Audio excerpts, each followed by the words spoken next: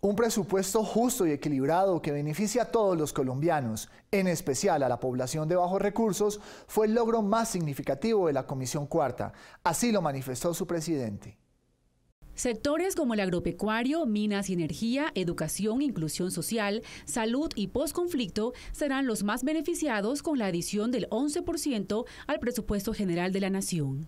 Lo anterior hace parte del balance positivo que entrega la Comisión Cuarta de la Cámara de Representantes a los colombianos. Se generó una reforma tributaria y nos correspondió a nosotros desde la Comisión Cuarta incorporar esos recursos eh, de vigencia del año 2017 al presupuesto general de la Nación por valor de 8.3 billones de pesos.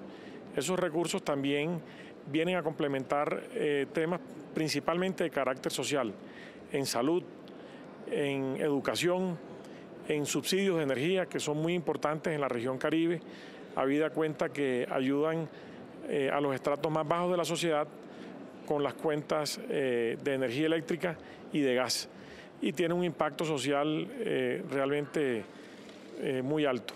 Según su presidente, se trató de un rubro equitativo orientado a reducir diferencias económicas de las regiones. Eh, a pesar de que estamos en una etapa económicamente hablando muy difícil del país, habida cuenta de la disminución del valor internacional de commodities como el petróleo y el carbón, que son fundamentales en el desarrollo de la economía del país y que generaron una baja en los ingresos de la nación.